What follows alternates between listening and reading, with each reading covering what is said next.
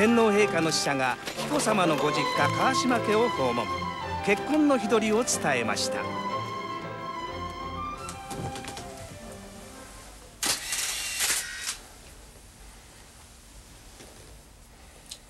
西と親王殿下の結婚の礼を6月29日に行わせられることにお伝えになりましたのでこの旨お伝えいたします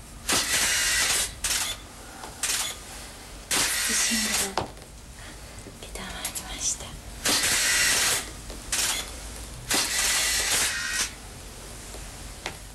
大師様と雅子さまの国旗の儀。この時も天皇陛下の使者が小和田家を訪ねました。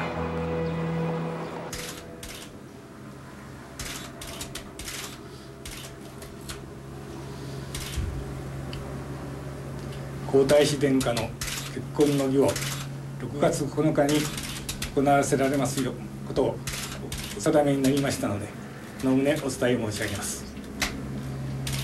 謹んで受け止めました